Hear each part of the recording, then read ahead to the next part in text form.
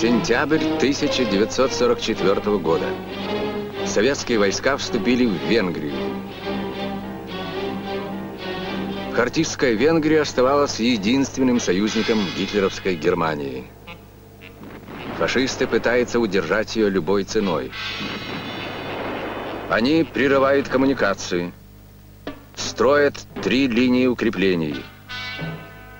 Траншеи, бетонные надолбы должны преградить путь советским танкам. Нелегко было дойти до Дебрецена, древней столицы Венгрии.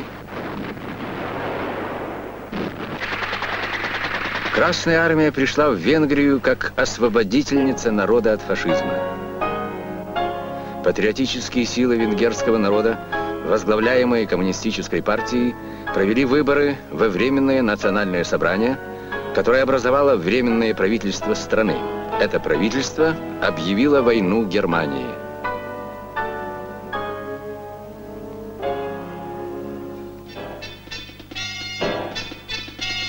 Гитлеровцы перебросили в Венгрию танковые и механизированные войска.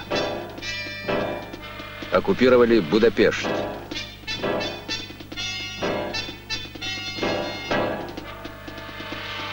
И передали власть венгерскому фашисту Салаши.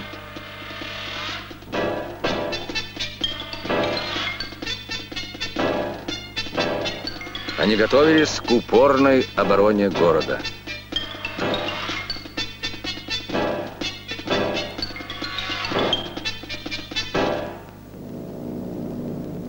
Войска двух украинских фронтов приближались к Будапешту.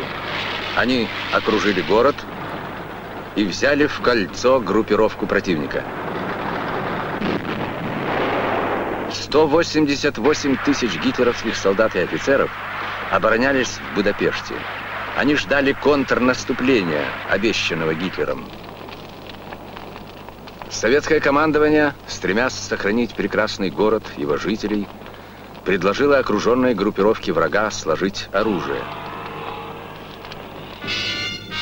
Фашисты предательски убили наших парламентеров.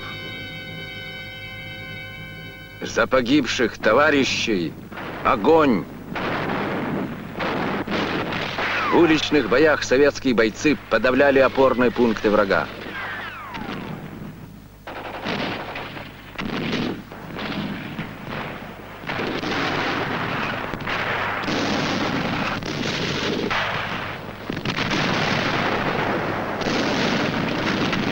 Многие солдаты, герои тех дней, были вашими сверстниками. Они жили в суровое время и оказались достойны его. 108 дней продолжались бои за Будапешт.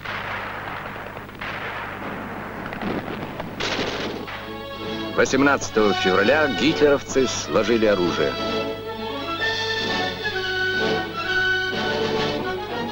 Будапешт освобожден.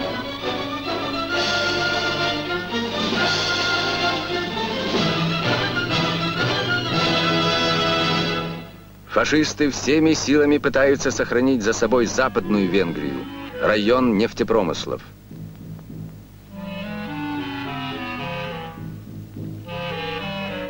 У озера Балатон они собирают мощный бронированный кулак – Лавина фашистских танков идет на наши позиции.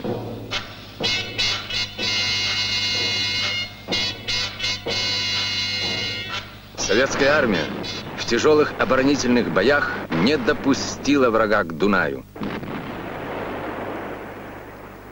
Еще громыхали бои на австрийской границе, а в Венгрию, освобожденную советской армией, пришел мир.